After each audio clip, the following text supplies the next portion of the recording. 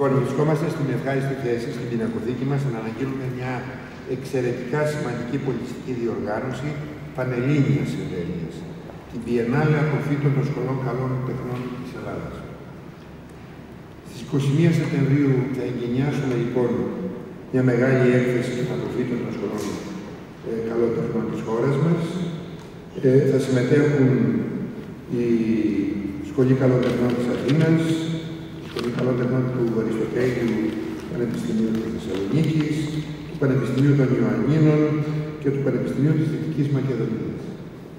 Πρόκειται για μια προσπάθεια η οποία έγινε από τη μεριά του Διοικητικού Συμβουλίου και της Καλλιτεχνικής Επιτροπής που οδηγεί σε ένα κεντρικό εικαστικό γεγονός που θα εμπεριέχει συγκεκριμένη διοργάνωση παράλληλα με τη διοργάνωση ημερίδων, θεματικών, καλλιτεχνική εκπαίδευση ε, στα εκπαιδευτικά ιδρύματα και άλλες δραστηριότητες.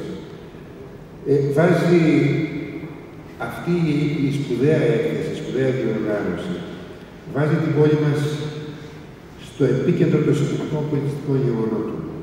Συμπληρώνει με εξαιρετικό τρόπο τη δραστηριότητα που υπάρχει, που κάνει μέχρι τώρα η, την αποθήκη μας. Και ο Δήμος Λαρισίου βεβαίως με αυτόν τον τρόπο συμβάλλει έπρακτα στη στήριξη της νέας γενιάς δημιουργών της χώρας.